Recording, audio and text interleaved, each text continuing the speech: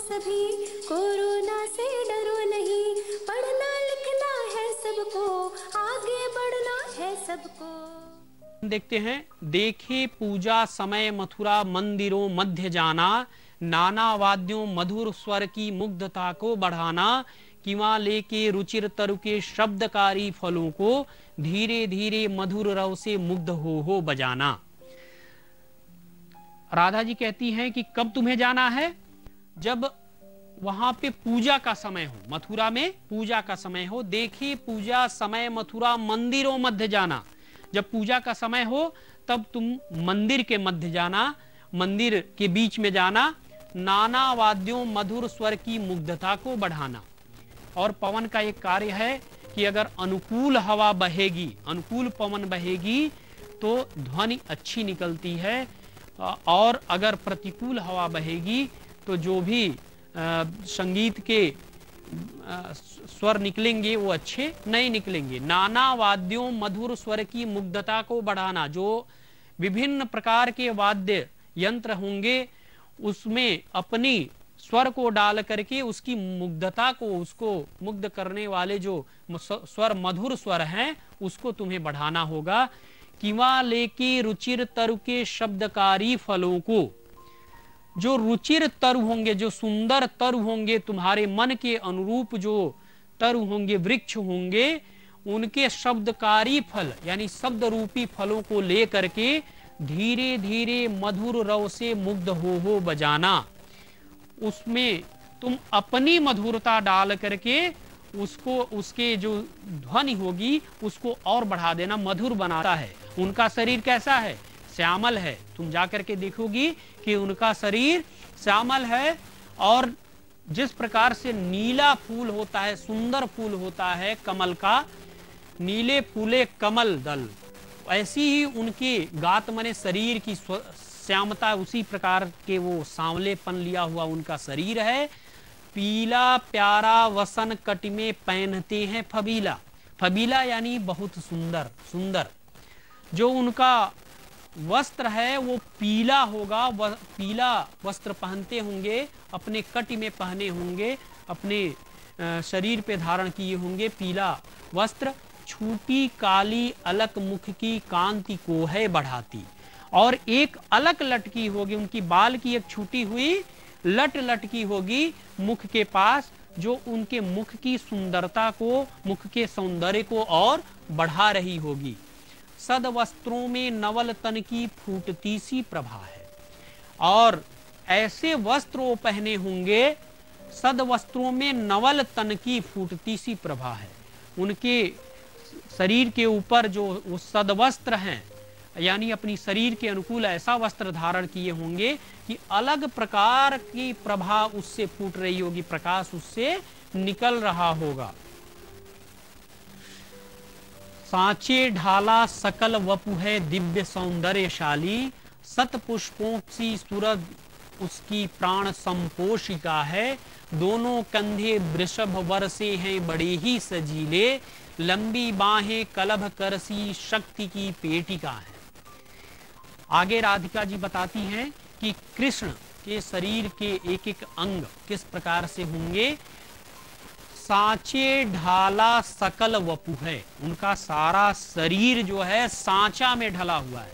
ऐसा प्रतीत होगा तुम्हें कि हे पवन, कि उनका पूरा शरीर सांचे में ढला हुआ है। दिव्य सौंदर्यशाली कैसा होगा? दिव्य सौंदर्य देवताओं के समान सुंदर शरीर वाले होंगे। उनमें से सौंदर्य फूट रहा होगा। सत पुष्पों सी सुरभि उस, उसकी प्राण संपोषिका है। जो उनके शरीर से सुगंध निकल रही होगी, जो सुगंधित वायु निकल रही होगी, वो सत पुष्पों सी सुरभि, यानी सुंदर फूलों से निकलने वाले सुगंध के समान उनकी सुगंध होगी शरीर की। दोनों कंधे वृषभ वर्षे हैं, बड़े ही सजीले। और जो दो, दोनों कंधे होंगे कृष्ण के, वो कैसे होंगे? वृषभ वर्षे हैं, श्रेष्ठ साढ़ के समान, कंधे वाले, बलिष्ठ कंधे के समान उनका कंधा होगा। दोनों कंधे वृषभ वर्षे हैं, बड़े ही सजीले, लंबी बाहें कलभ करसी शक्ति की पेटिका हैं। और जो दो, उनकी दोनों लंबी बाहें होंगी, बाहें लंबी होंगी, और कैसी होगी? कलभ कर, जो हाथी की सूंड होता है हाथी के सूंड के समान वो मज़बूत हाथी का जो सूंड होता है, बहुत मज़बूत होता है।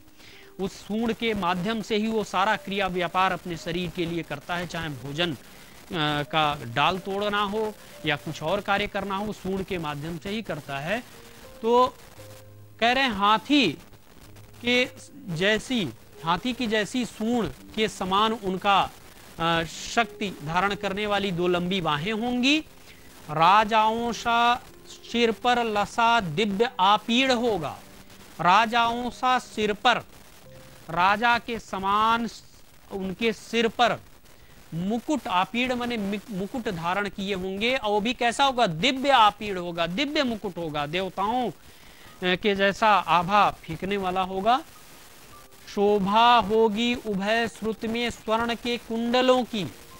और दोनों कान में जो कुंडल होंगे, वो सोने के जो कुंडल होंगे, उभय श्रुति दोनों कान में, वो शोभा बढ़ाने वाली होगी। नाना रत्ना कलित भुज में मंजू के यूर होंगे और अनेक रत्नों से जटित जो भुज, अपनी भुजाओं में भुजबंद पहना पहनते हैं, वो बहुत ही सुंदर होंगे। मंजू के यूर, भुजबंद, यानी विभिन्न प्रकार के रत्नों से जड़ित वो भुजबंद पहने होंगे। मोती माला लसित उनका कंबुसा कंठ होगा। और जो उनका कंठ होगा, वो शंख के समान सुंदर होगा और उसमें मोतियों की माला से लसित होगा। मोतियों की माला उसमें पहने होंगे। जो शंख की बनावट होती है उस गर्दन को बहुत ही सुंदर कहा जाता है। तो राधिका जी बताती है, कृष्ण की गर्दन उस शंख जैसी सुंदर है, शंख के समान सुंदर है और उसमें मोती, उसकी सुंदरता को, मोती की माला उसकी सुंदरता को और बढ़ा रहा होगा। आगे देखिए, अगले छंद में, तेरे में है न यह गुण जो तू व्यथाएँ सुनाए व्यापारों को प्रखरमती और युक्तियों से चलाना, बैठे जो हूँ निज सदन में मेघ सी कांति वाले तो चित्रों को इस भवन में ध्यान से देख जाना। इस छंद में, राधिका जी, उनकी जब सो करके उस चित्र को देखें, ऐसे हिलाना तुम, आशा है यूँ सुरति उनको हो सकेगी हमारी। ये निसंदेह आशा है कि उनको जब वो विरह विधुरा चित्र देखेंगे, बिरह से तपित उस चित्र को देखेंगे तो निश्चित है ये हमें आशा है कि उनको सूरत ही हमारी होगी, यानी उनको हमारी स्मृति हो जाएगी, यानी हम लोग को, हम लोग का ध्यान आएगा कि ऐसा भी और कोई है। जो कोई भी इस सदन में चित्र उद्यान का हो औ प्राणी विपुल उसमें घूमते बावले से तो जाके सन्निकट उसके और हिला के उसे भी। देवात्मा को सुरति व्रज के व्याकुलों की कराना। जो कोई भी इस सदन में चित्र उद्यान का हो बीरा विधुरा का चित्र हो तो ऐसे हिलाना कि उनको हमारी ध्यान आ जाए। इसके अलावा, अगर कोई चित्र उद्यान का दिखाई दे दे यानी उसमें बागीचे का कोई चित्र टंगा हो दिखाई तुम्हें दे दे औहो प्राणी विपुल उसमें घूमते बावले से। और उस उद्यान में प्राणी ऐसे घूम रहे हों, जो बावले हों, जो जो पागल होकर के घूम रहे हैं। तो जाके सन्निकट उसके और हिला के उसे भी। तुम्हें करना क्या है? उसके सन्निकट जाना है, उसके निकट जाना है और उस उद्यान रूपी चित्र को तुम्हें इस प्रकार से हिलाना है, देवात्मा को सुरति व्रज के व्याकुलों की कराना। किसकी सूरती कराना है? किसकी याद उनको दिलाना है? उस चित्र के हिलने से उन्हें ब्रज के व्याकुल जो लोग हैं, उनके विरह में जो व्याकुल गोपियाँ हैं, राधा हैं, शायद उस उद्यान का चित्र देखने से ब्रज की याद उन्हें आ जाए। कोई प्यारा कुसुम कुमला गेह में जो पड़ा हो तो प्यारे के चरण पर ला डाल देना उसी को। यूँ देना ए पवन बतला फूल सी एक बाला, म्लान हो हो कमल पग को चूमना चाहती है। कोई प्यारा कुसुम कुमला गेह में जो पड़ा हो। इस प्रकार से तुम उस घर में गेह यानी उस घर में देखना कि कोई पुष्प अगर दिखाई दे, वो भी कुम्हलाया हुआ पुष्प, मुरझाया हुआ पुष्प। अगर तुम्हें वहाँ कोई दिखाई दे, कोई प्यारा कुसुम कुमला गेह में जो पड़ा हो, अगर कहीं वो पड़ा हो नीचे तो तुम्हें करना क्या है? तो प्यारे के चरण पर ला डाल देना उसी से। हे पवन, अपने क्रिया व्यापार से उस पुष्प को उनके चरण पर ला देना, चरण पर ला करके डाल देना। उससे क्या होगा? यूँ देना ए पवन बतला फूल सी एक बाला। इससे तुम जाकर के ये बता देना, इस क्रिया व्यापार से ये उनको जतला देना, बता देना कृष्ण को कि हे कृष्ण, यूँ देना ए पवन बतला फूल सी एक बाला। जिस प्रकार से यह फूल कुमला गया है, उसी प्रकार से एक फूल जैसी बालिका। म्लान हो हो कमल पग को चूमना चाहती है। जिस प्रकार से ये कुमलाई हुए पवन है, सुंदर पवन है पुष्प है, उसी प्रकार से एक बालिका भी कुमला गई है, जो आपके कमल पग को चूमना चाहती है। उदास हो गई है और उदास हो हो करके कमल पग को चूमना चाहती है, अर्थात आपके विरह में व्याकुल है। आपके विरह में तप्त हो रही है। हे कृष्ण, आप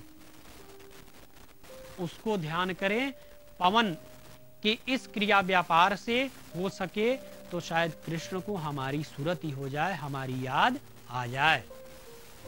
ये आज का हम लोग का आठ छंद था, दस छंद था जो हम लोगों ने पढ़ा। छंद पढ़ने के पश्चात हम लोग एक प्रश्न अभ्यास करेंगे। में अच्छे अंक कैसे अर्जित आप कर पाते हैं। प्यारे बच्चों, एक चीज़ और आपको ध्यान देना है कि मानव संसाधन विकास मंत्रालय के द्वारा, भारत सरकार द्वारा एक दीक्षा मोबाइल एप्लीकेशन है जो आप उस दीक्षा मोबाइल एप्लीकेशन को आप डाउनलोड करेंगे। अब प्ले स्टोर के माध्यम से आप उसको डाउनलोड कर लीजिए और उस ऐप को डाउनलोड करने के पश्चात जो प्रश्न है, अभ्यास की अन्य गतिविधियाँ हैं, प्रश्न का जो अभ्यास है, उस ऐप पे आपको मिलेगा। और किसी भी प्रकार का कोई बिंदु की शंका हो या स्पष्टता का मामला हो कि यह स्पष्ट नहीं हो पा रहा है या कुछ और इसमें जानना आप चाहें तो अपने शिक्षक से ये बात बता सकते हैं, पूछ सकते हैं, उनसे ये चीज़ें क्लियर कर सकते हैं और उनसे ये प्रश्न पूछ सकते हैं, इसका हल जान सकते हैं। और ये जो वीडियो बन रहा है, जो वीडियो आप देखना चाहें इस वीडियो को तो YouTube चैनल पर जा करके आप एक माध्यमिक शिक्षा विभाग, उत्तर प्रदेश